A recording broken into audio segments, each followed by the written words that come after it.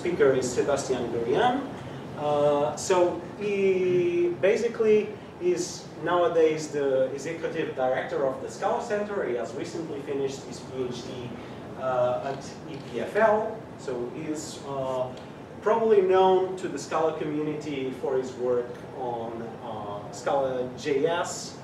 And I'll just give it, pass it on to him. So and he'll tell us all about cross-platform language design in Scala JS.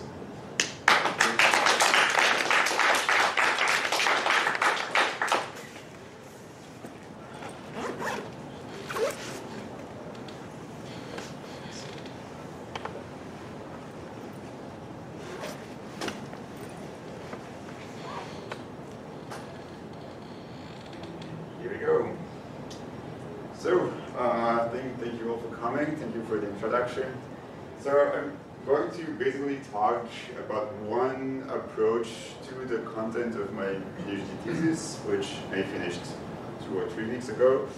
Um, and so the, the, the, whole topic is about cross-platform language design. So what does that mean?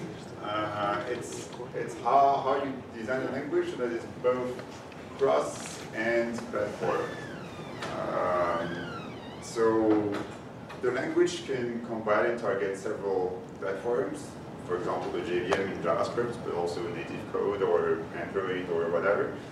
Um, but not only it compiles to each platform and it does the same thing on every platform, but also it integrates with each platform individually. So that's whatever I, I coined as, as cross-platform language. So, of course, it developed Scala.js. Uh, these slides are with, with Reveal.js. So you can embed the Scala.js application within it. And if I don't suck too much, um, we'll, we'll manage to see one or, one or two stars at some point. Uh, there was a one here, here. So we have this, this little game here which displays stars. And as a running example, we're going to focus on how we display those stars in this uh, browser written, uh, so with code written in, in Scala.js. So let's focus on those little stars. You can write some JavaScript codes that displays a few stars on the screen, or you can write Scala.js code that displays exactly the same stars. Uh, that is very, uh, very impressive. Um, so there are three, uh, three main axes to what I consider a cross-platform language. Um, one is portability, so you can write the same code, you can compile it to different platforms. Uh, first, it does compile to each platform, but second, it runs. And third, and importantly, it does the same thing. So it behaves in the same way on different platforms. Uh, otherwise, you can hardly write libraries that are widely used across all the platforms because some little details might, might not work exactly the same. Second point is uh, interoperability, which is once you're on a given platform, it's not enough to just make your language semantics or inner language semantics work. You also typically have to interact in some way with the other elements on that platform. For example, uh, on, on a web browser, if you cannot interact with the DOM libraries, which is the programmatic API to the, the visual rendering of the page, it's, it's all well and good that you can run code inside your browser, but it cannot you know, interact with the web page, so it's basically useless. Right? So every platform has, has their own specific APIs and their own specific um, features that you want to be able to access from your own language, otherwise you cannot really talk to the world. And the third thing is, while you do all these things and you design your language to support both of those things, it's better not to completely forget about performance considerations, uh, because otherwise your language might turn up unusable, but for a different reason, just because it's impractical. So a few preliminaries. I know we're uh, at the Scala Symposium, but at the same time it's collocated, so maybe not everyone knows what Scala looks like. Um, what's perhaps less surprising, and maybe not everyone uh, knows what JavaScript looks like. So let's, let's just take one or two slides on uh, a few things and, and put things together. Uh, so this is in, in recent modern JavaScript, uh, you can actually declare classes now. Um, so you can declare this, this point class, which has two fields. So you define the constructor method. Constructor is a bit um, um, is a bit special. Uh, so it's the nin constructor means something. And then you can just assign fields. And in Scala, what you would do is, uh, for such a small data class, you would define the so-called case class, which automatically gives you a few benefits like deconstruction and pattern matching and stuff like this. It's mutable, you can structure equality, um, those things. You can do something a little bit more involved, and here is the function that builds the coordinates of one star. Um, so in JavaScript, you can create an array, you would have an imperative like for loop, and you do some complex math calculations, and then you create a new point, you push it into the array, at the end of the day you return that result.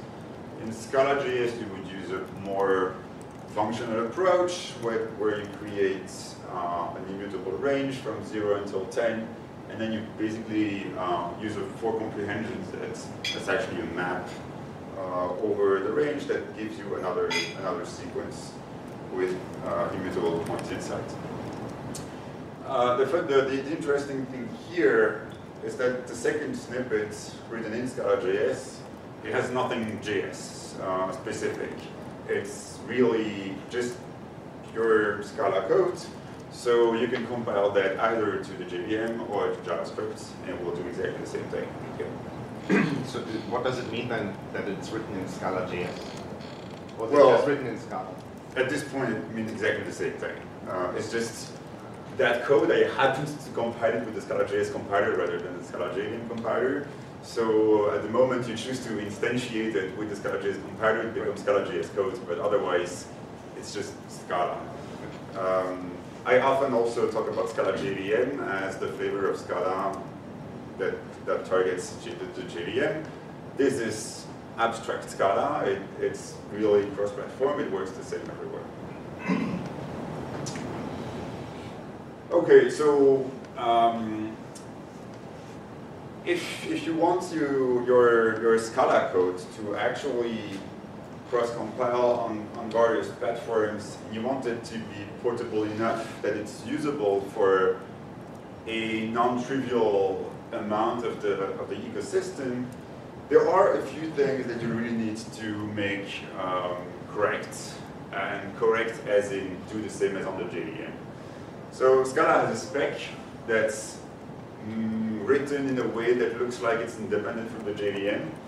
Um, the, unfortunately, the, some, some, things, some things are left implementation specified, but turns out that there's, they're in a certain way on the JVM, and believe it or not, every single piece of left unspecified thing will be used by some library in the ecosystem, uh, whether the authors know it or not.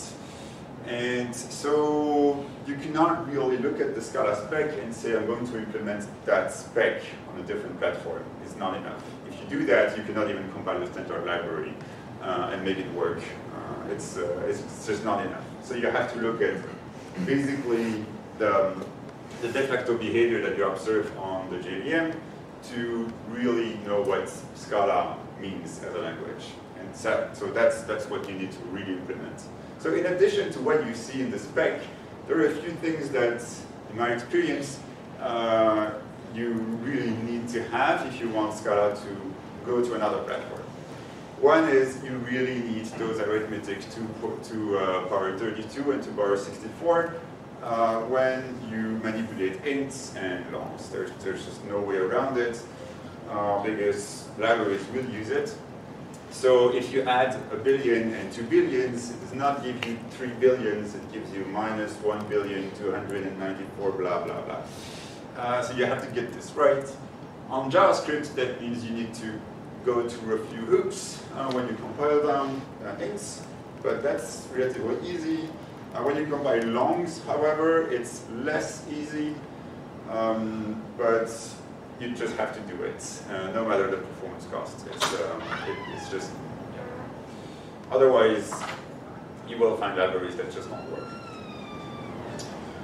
Another thing that's uh, more funny is the Scala spec will, will try to shield you from a phenomenon known as uh, boxing, uh, which you probably all know about, uh, which is that if you have an int and you give it to an any or to a type parameter, it actually becomes an instance of Java integer, it's allocated on the heap, etc. The fact it's allocated on the heap is really just an implementation detail. Uh, it's an implementation detail with huge performance implications, but as far as the language semantics is concerned, it's an implementation detail. What is not is the fact that it's that an int is an instance of Java integer. Like when you put it in any, and then you ask, hey, uh, dear X, are you a Java integer? It will answer, yes, I am. And uh, this is something that, unfortunately, libraries rely on in both directions. So both if you have an int it must be a Java lang integer. If you have a Java lang integer, it must be an int. So your language, no matter what, has to, um, I mean, your, your language, your language dialect of Scala that compiles to a specific platform needs to take care of this. And this is actually annoying for Scala.js in, in some uh, in, in, some amount, uh, but we'll get back to this. We would very much like not to, uh, but unfortunately runtime reflection is also pretty much a given. Uh, you need some of it. Um, this is, there, there is a small-ish list of things that you cannot get away without. The, some unsurprising things are object.get class, uh, class.get name. More surprising perhaps is java reflect array.new instance. If you don't have this one, most of the collections library doesn't work. Um, so that's, uh, yeah, and then there are something like 10 or 12 methods from the reflection API that you really need to have. And that is annoying in the context of, of Scala.js because Scala.js and other platforms like Native which want to eliminate codes when they, they build the, the binaries, uh, we really want to get rid of uh, that code and with runtime reflection, there is no such thing as dead code. Everything can be uh, accessed in some way. Fortunately, the subset that we need um, is such that we don't we don't need to completely relinquish uh, code. Uh, I mean, the, the ability to identify that code. Um, okay. Another thing is uh, structural types and there are so-called reflective calls. Um, so on they're called, so if you have a, a, structural type in Scala and you call one of its methods, on the JVM, uh, the compiler is going to generate reflection-based uh, code to access that method because it doesn't have a, a named interface to refer to, so it's going to use code that uses reflection. And if you want to support this reflection, then uh, then you then, then you cross the line where if you implement that amount of reflection, there is no dead code anymore. Uh, so that's really annoying because on the one hand, you have a very strong language um, in imperative that you have to support structural types and, and method calls on structural types, but at the same time, if you do it the same way that the, that the JVM does, then there is no dead code in your application anymore, and you have to bundle the entire library uh, which is worth tens of megabytes of JavaScript code, which is completely uh, impossible to live with. So in fact, the structural, the, the, the, structural types, you basically have to rebake them in a platform-specific way in each compiler in a way that somehow you will still be able to do some kind of dead code elimination. And this is a significant burden. Uh, just, just this one feature is responsible for so many complications. It's, uh, yeah, but, but you, you, you have to do it, uh, unfortunately. and of course, the big one thing that, uh, that is, has consequences everywhere in ScalaJS is you need compile time overloading. Uh, what does that mean? Um, it means that first you can define two methods that have overloaded names. Uh, you can define the class string builder and it has a method append that takes an object and another method append that takes a char sequence. And if if you, so in Scala, when you call one of those methods, we use the static type of the argument to determine at compile time which one of those two overloads is going to be called. It doesn't matter that at runtime, uh, the type happens to be one that would fit another the overloads. It's the one that was selected at compile time which matters. And this is important in this very specific example, which of course I chose it for, is that the append method that takes a char sequence actually delegates to the append method that takes an object. And we use this type ascription to say, please compiler upcast my S to an object to force the overloading resolution to pick the other one. But if you translate that to JavaScript in the most naive way, in JavaScript you don't have such thing as overloading per se in the language. However, you can do type tests at runtime, you can even test how many actual arguments were passed to your methods at runtime, so you can potentially implement all of that overloading at runtime. Except that if you do that, then you have to rely on the runtime type of your actual arguments, and then of course that example goes to an infinite loop, for obvious reasons. Um, so in fact, what we do when you compile to a language such as JavaScript, which has runtime overloading, is you name mangle everything, right? It's pretty obvious. People have been doing that for years uh, or decades. So the append method that takes an object and returns units will be named append underscore object underscore units in JavaScript. And we do that for every single method in the entire Scala application. So that's straightforward. It's been solved decades ago. Problem is, if you do that, then JavaScript doesn't understand you anymore. So if if some JavaScript code has an instance of your string of your string builder and tries to call the append method, it's like you're like ah, that method does not exist because I don't have an append method. I have an append object unit and append char sequence unit. So you've solved your internal Scala semantics of compile time overloading, but in doing so, you've alienated yourself, all of your JavaScript users. So you've uh, you've destroyed a little bit of interoperability with JavaScript, because now you cannot really directly talk to JavaScript. Right? So we'll have to find a solution for this. On the on the flip side, uh, a few things that you don't really need uh, if you if, if you have a language uh, a dialect of Scala that compiles to a different language is to, uh, or to a different platform is it's not that important to preserve the exact uh, result of if you have a five which is an int and you ask it are you a double um, Scala JVM would answer false, of course, because int is Java lang integer, which is not Java lang double, which is not Scala double. Um, so, but in fact, in Scala JS, this will answer true, because uh, a 5, which is an int, is basically also a double, uh, because it happens to have a value that fits in the range of a double. If you have a 5.5, that would qualify as a double, but not as an int but 5 qualifies as both. Um, you have uh, other fun stuff like 1.5 uh, will qualify as a double and as a float, but 1.4 will only qualify as a double, not as a float. and the, the, the, the, the fun fact here is that you can actually do that and not break uh, most of the, of the Scala ecosystem of libraries. And then also you have wrong casts. I have a list, and I try to cast it to a string. Uh, that's, that's of course invalid. You, you must not do that. But the Scala JVM actually gives precise semantics to these. It will guarantee that it throws a class cast exception. So if you write code that does this and then catches the, the class cast exception, you have started relying on the very fact that the class cast exception is being thrown. In fact, in Scala.js, that's not going to happen. Uh, in, in development mode, this will blow up with a huge undefined behavior error and not a class cast exception.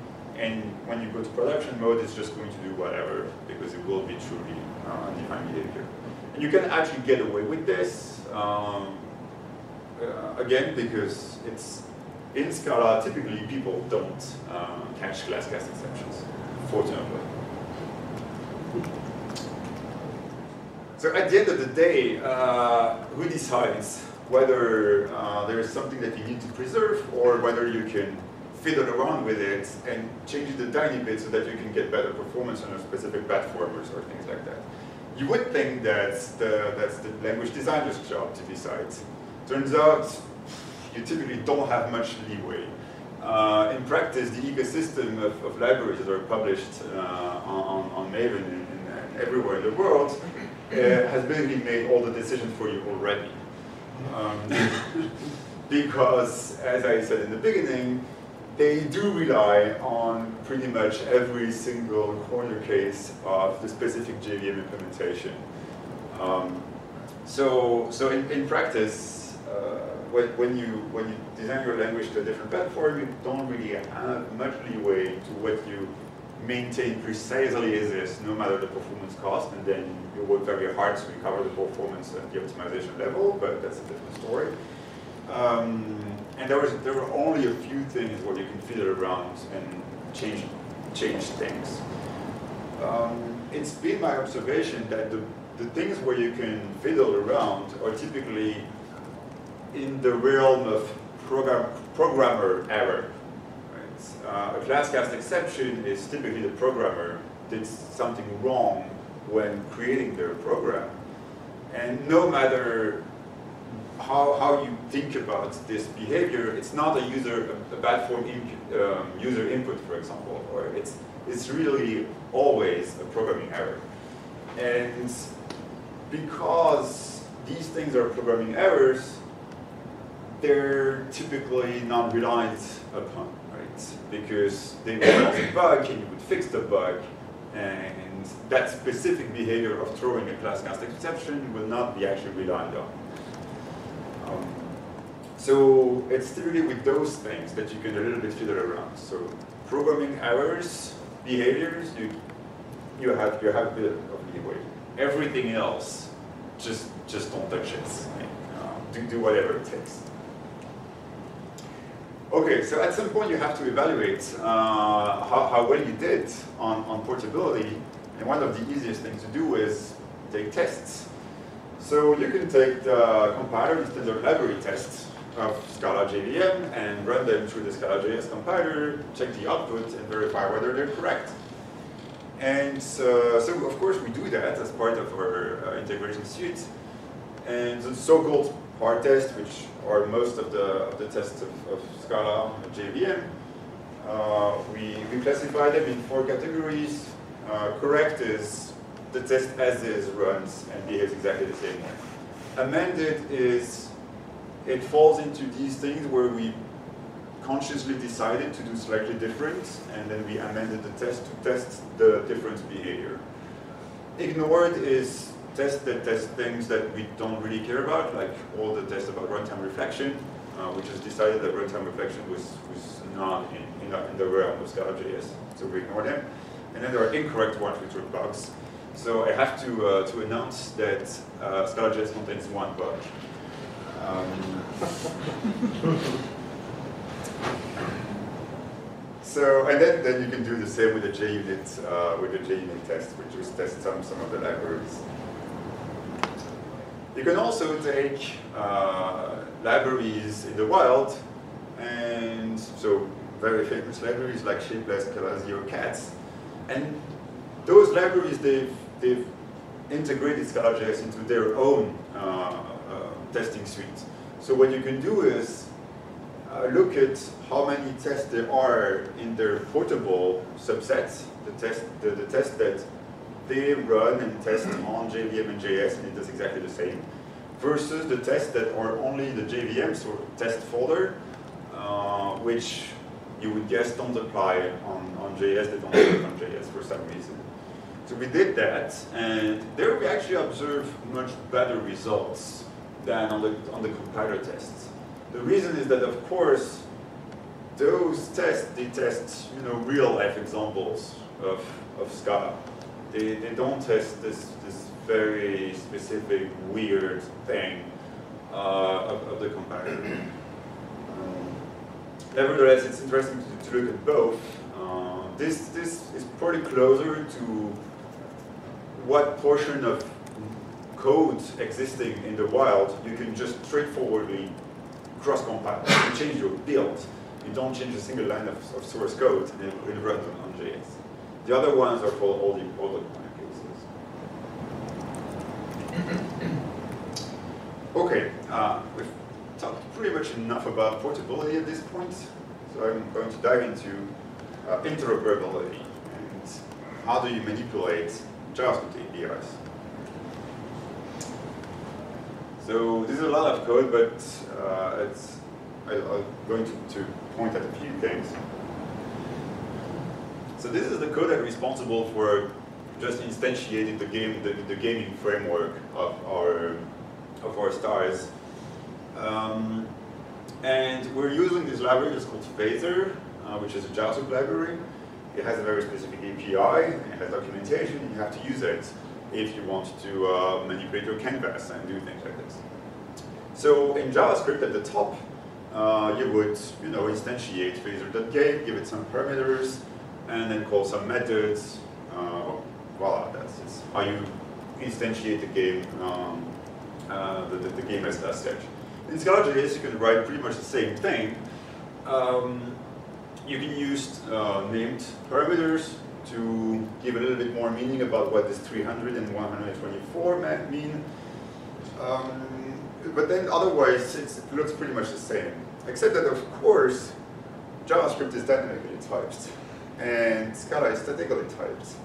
So the, the, se the second code box there, as, as is, it won't type check, right? Uh, there, there's no way Scala is going to let you instantiate phaser.game when it, when it doesn't know what phaser.game is. So what you have to do in Scala.js and what people also do for you for, for, for uh, popular JavaScript libraries is you write facades, uh, facade types. So somewhere else in your code base or even in, in, a, in a library that you depend on, you will write the skeleton of uh, the JavaScript library that you use, annotated with AJS native and a bunch of other things. And, and then you have a static API against you can um, against which you can write your code and the compiler can type check it. Um, so that, that's what we do here. So it, it looks like you're writing more code for declaring the types than the use case, uh, which is kind of stupid. Uh, except that, of course, the last part, it's typically in a library, and everyone reuses it for every Phaser application in the world, right? So it's not like... Uh... Okay, so it, it's good to have something that type checks but uh, for most of us, uh, that's not the end of the day. Um, so if you're into type system, that's, basically all you do, right? If it type checks is correct. Uh, for for but um, uh, in, in general, you also you're also thinking um, uh, much later. You, you want it to run somehow, and you want to understand what it does. So you have to, to assign some runtime semantics to this to this code. So you can do that uh, you can add an appendix to the Scala specification, which is the Scala.js addendum, which defines a bunch of things. If you have this shape of declaration in a JavaScript type and you call it that way, it will mean this thing in JavaScript.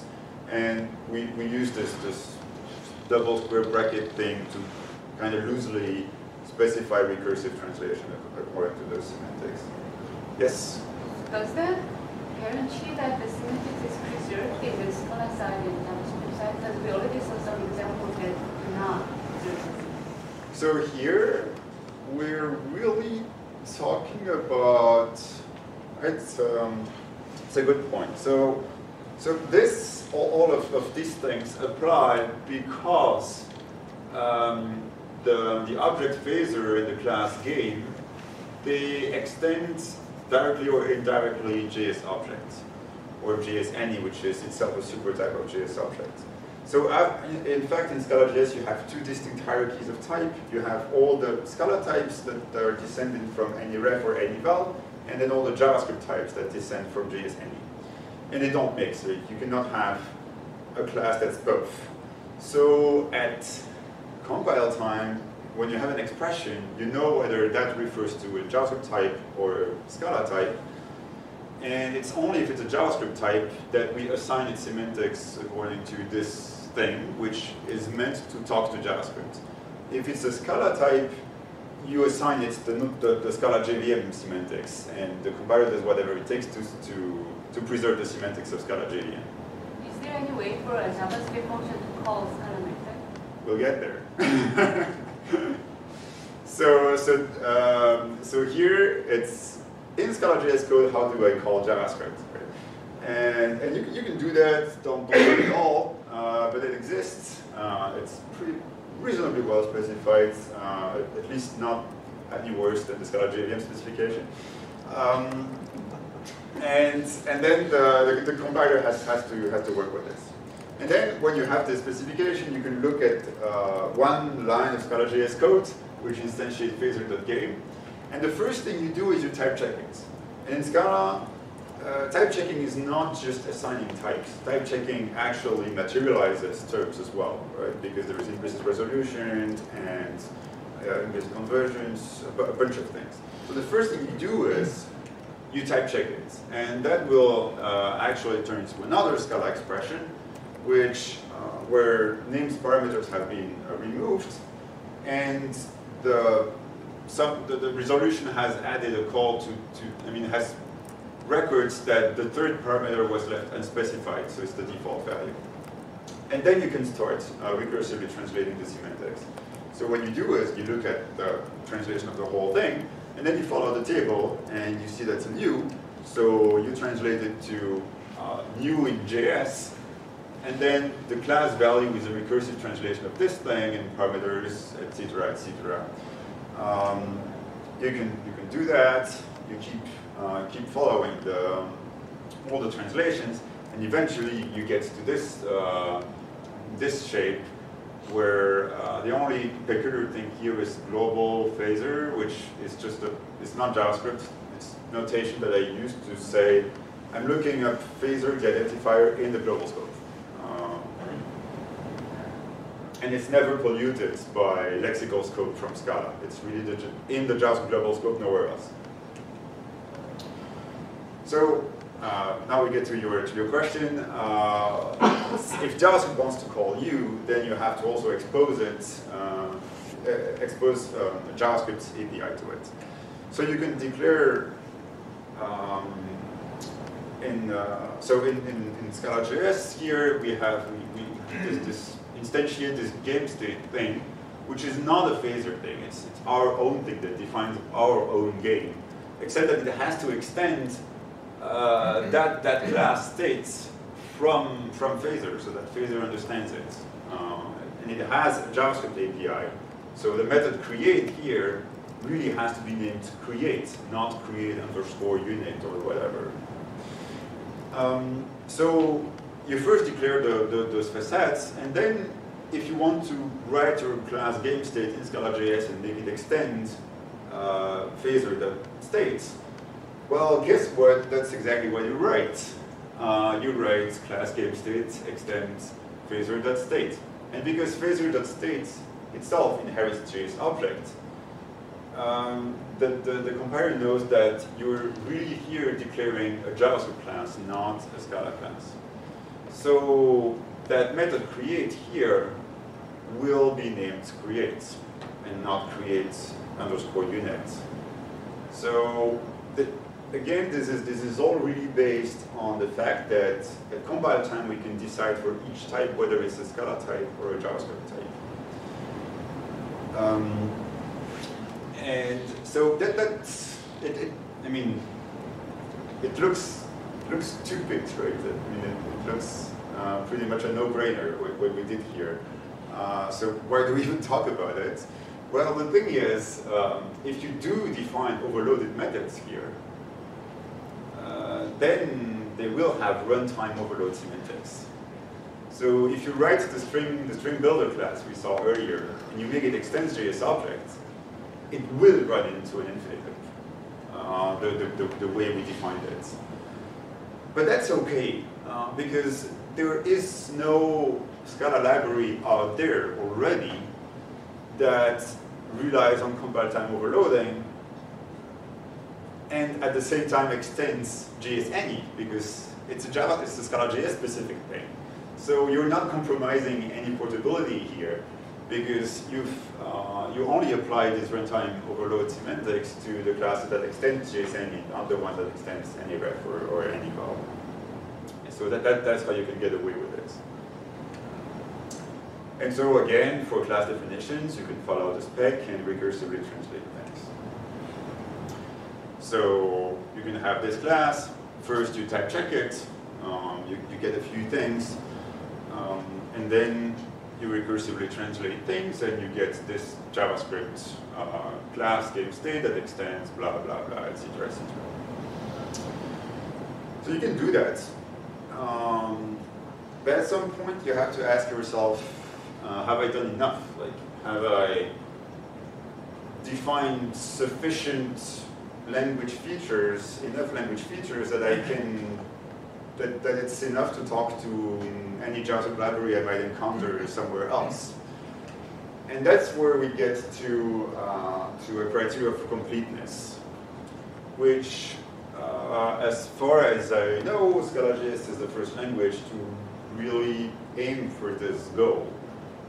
Um, so uh, what you what you can do is, um, so the question is, do I have enough to talk to any JavaScript library, including the ones that are yet to come?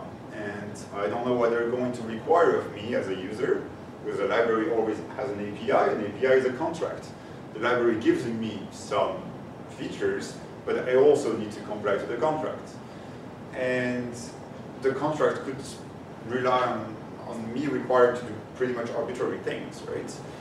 Um, so how do I ensure that I have enough language features to cover any possible contract that any JavaScript library could uh, ask of me? And that, of course, leads to the question, what kind of contract could it ask? And there, it can pretty much ask anything not quite. It can only require the user to do something that you can do in JavaScript, right? Because if the library asks their user to do something that you cannot do in JavaScript, well, nobody can use the library, not even the JavaScript people. So, um, so that, that puts a bound somewhere around what contracts you can expect. It's a pretty large bound, but it's still a bound somewhere. And so you can aim for that. So if your language has enough language features to guarantee that you can do in Scala.js everything you can do in JavaScript, then you're good, right?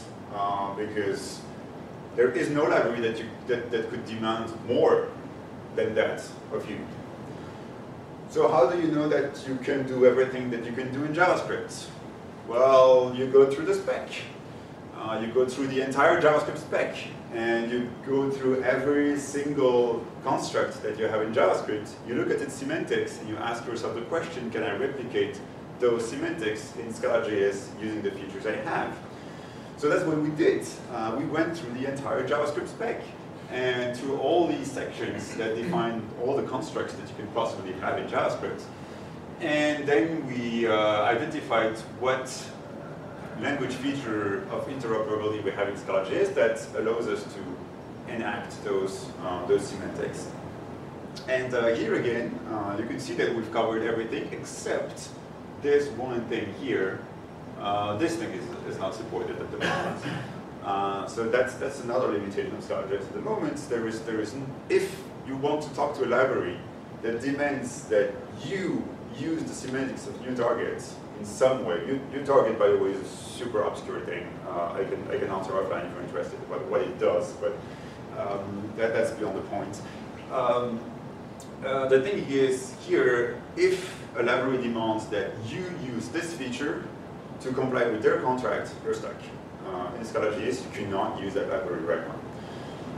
Yes? So do you mean by Scala.js interoperability feature? I mean, for example, that um, uh, basically any of, of those things, right? Uh, for example, this, this, any of those, those boxes is, is one feature if you want to look at it that way. Uh, so the, the, top box says, if I define a class like this and it extends JSAny in some way, I get to create a JavaScript class somehow. how is it different from JavaScript uh, language construct? So you have two columns, right? JavaScript language yes. and um, features. How are they different? Oh, right. Um, so the, the left column is really referring to a section of the, of the JavaScript spec. And in JavaScript, for example, you, you have a new operator. And it has one syntax. And then it defines the semantics of that, of that syntax. And then the, the second column is, if I want to reproduce those semantics, but write the code within Scala.js, what feature of Scala.js syntax and type checker will I use for this purpose? And in this case, I will use the new keyword of Scala, whose, whose argument, whose class is one that extends JSAny uh, somehow.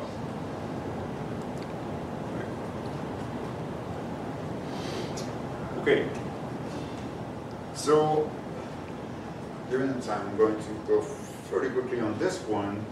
Um, I said that we have two completely separate type hierarchies, right? That we have uh, Scala types and JavaScript types. But they're separate only as far as can, one cannot extend the other. But they still live in the same type system, which means that you can have a JavaScript class with a type parameter, that type parameter being instantiated to a Scala class. And then that Scala class could have fields which are JavaScript types, etc., etc.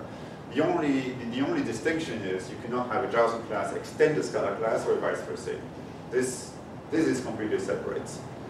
Um, but you can definitely have a JS array containing Scala points. And that's what we do here uh, in this method, which actually draws the star. Uh, it calls the, the make star polygon uh, function, which we saw earlier, which returns a Scala sequence of Scala points and the first thing we do is we turn it to a JS array. So now we, I have a JS array of Scala points. And then I can call map on this JS array, which is actually the map of the Scala collections, um, which will work on the JS array. And every time I have a, a, Scala point, I turn it into a JS tuple 2 with x and y as the fields, and I get a JS array of JS tuples 2, which are basically arrays of two elements. So you, you, can do that, and that's regular in Scala.js. Like, and you don't even you don't even think about it. It's it's, uh, it's pretty natural. Uh, yeah, we skip this? Uh, I'm gonna a little bit late on time, but I, I things I have explained just before. I'm just skipping the the slides. Um, so. Uh, now we've, we've basically covered what what the language level description of Scala.js is, uh, really. At some point you need to compile it. And one thing that we do in Scala.js is we have an intermediate representation, which is uh, an IR, which is actually its own language. Um, so you first compile Scala.js down to the IR, which is a language, and then you compile the IR to JavaScript. I'm just pointing this out um, because there are a couple of things that are worth highlighting about, about this, this intermediate representation. Um, so here is, is, the IR that we get for the, the game states class that we defined earlier. And that, that class extended JS object, so it's a JS class. It's not a Scala class, it's a JS class first. Uh, second thing, it has a constructor, which is a JavaScript style constructor. So it's a method whose name happens to be constructor. uh, which takes an argument and it calls the super constructor at some point. That argument, since JavaScript can call this thing, JavaScript can give it any val any value. Right? There's no type checker in, in JavaScript that's going to assert that uh, I only receive an int there. So when I enter Scala.js code from this JavaScript API, um, something that was typed as int in the Scala code can be given a value that's actually string because I have no control on what JavaScript could possibly do with this thing. So the very first thing I do when I get to the border between JavaScript and Scala.js is I will assert that I have the right type. So I cast my argument, which is in any, uh, into int, represented by this i there, uh, to assert at the boundary that I have the right type. This is similar to what you find in gradual typing uh, systems. Uh, not quite the same, that's why I don't call it gradual typing, but it's similar. And finally, you can you can uh, assign this this validated input to the field and, and roll with it. And then and here you can see that the create method, its name is really create, not create underscore unit or whatever. And then you can compile this to JavaScript, and that's a pretty boring um, uh, aspect. But one thing that you can see is that in the IR there was an explicit definition for the field uh, store count, but in JavaScript there is no such thing. JavaScript fields are whatever you happen to put into the object, either during the constructor or, or even later. Uh, so when we compile the IR to JavaScript, uh, we get this additional uh, contraption here that uh, creates the fields with the correct, the correct way. Uh, there are two main properties that, uh, that, that we expect from the IR. What's, one is it's sound, its type system is sound. It's a JVM-like type system, except that it also has interop features, of course. But the, the way we argue that it's, we don't have a proof, the way we argue it's, it's sound is that the, the, the JVM type system is, is believed to be sound, uh, and we have a similar type system, uh, so we kind of rely on that. And, and second, every time we come back from JavaScript, we cast all, all the time. We only assume it's any, and then we cast down, and, uh, so that we don't have this interference with, with JavaScript and type this. Uh, so it's, it's, very, very, very hand wavy. Right? don't, don't ask me about. I have some ideas about how someone could do another PhD thesis on proving type soundness for this thing, uh, but that's about that's about as, as, much as I go. And second, it's a closed world. So for for uh, even if, it, if it interacts with JavaScript, there are some limits to what the, the interactions can be, and that means we can uh, assume a closed world and that could eliminate and stuff like this. I'm going to finish this presentation with a few things that are new in Scala.js 1 and that follow the, the methodology that we've had here. Uh, one thing is the, the global scope. Um, so in JavaScript, you can uh, you can write this this function uh, require uh, asset uh, that would take an asset path and would delegate to to the require function, which is a common, which is a Node.js function uh, to, to to get your assets. Mm, whatever. Uh, in Scala.js, you would think you could you could write this as such, right? Um, uh, get to JS Dynamic Global, fetch the require function from the global uh, global thing, uh, and, and call it with arguments. Except if you do that in Scala.js 06, um, you it's translated into the, this, this code, and it gives you, oh, $g require is not a function.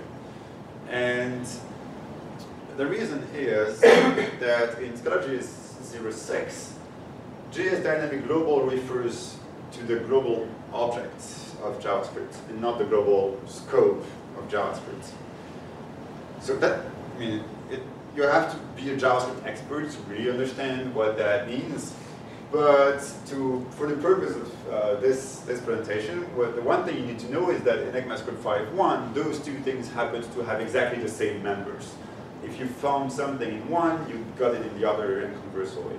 So it was okay for Scala.js to give you access to only the global objects, and then you could you, you could access the global scope through that global object. It turns out, in a subsequent version of, of JavaScript, they broke that uh, invariant. And now there are things in the global scope that are not in the global object. And that, for example, that require thing. And that means in Scala.js 06 there is just no way you can use the require method like that. And that, that's a limitation that comes from the fact that we did not give you access to the semantics of looking up in the global scope. Um, and, and that means as a user, I'm completely stuck. So in just, 1, we fixed this. Uh, now JS Dynamic Global refers to the global scope, not the global object. And then from that, you can look up the global object the same way you would do in JavaScript if you want. Um, and that has some, some implication, like you, you, can only access static things, but um, whatever. The other thing is, quickly go on this.